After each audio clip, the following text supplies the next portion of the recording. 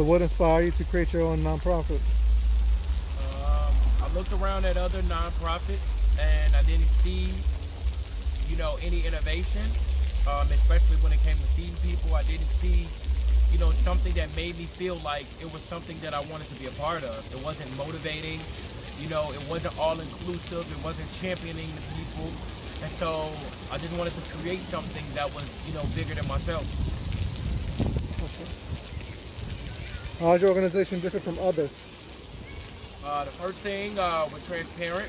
So, you know, when it comes to, you know, not only, you know, operations, but funding, you know, we're legal. We make sure we let people know what we're doing, you know, day to day, uh, which also speaks to our consistency. You know, we're not here, you know, once a quarter or, you know, three or four times a year. We're in the community every single day because that's what the people need, especially when we're talking about feeding people. Mm -hmm. I know that in your refrigerator you have like fruits and vegetables and stuff. Um, why why did you advocate those specific foods rather than others? Because that's what we don't have. So mm-hmm. you know, Englewood is a food desert, mm-hmm. and so there's no you know consistent healthy access. And so first and foremost, you know, I don't want to to champion the things that I think the people need. I have to see what the problem is, and that's what philanthropy should be: is to be flexible with the need, because the need will always change. How has the pandemic affected you? It made me stronger, more resilient. It added another feather to my cap. Mm -hmm. When it comes to, to being a man of the people, I have to make sure that, you know, as the problem goes, I go. I have to make sure as the people go, I go. And so the pandemic, you know, only added another layer of trying to make sure that we take care of our people the right way.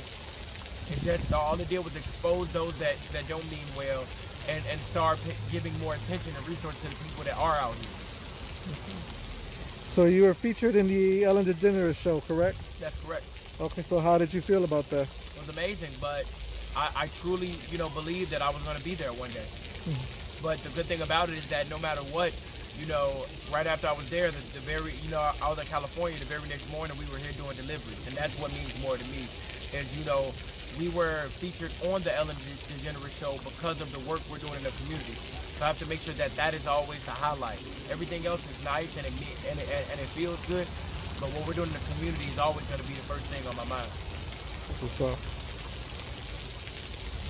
How has your organization changed the narrative of disparities and societal ills that the city of Chicago have?